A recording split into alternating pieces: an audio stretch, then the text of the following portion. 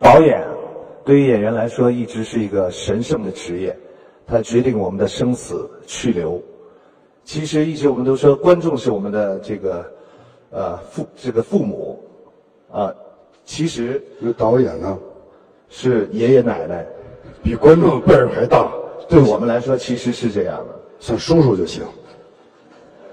好，江叔，我们接下来看一下这个 评委会的评语。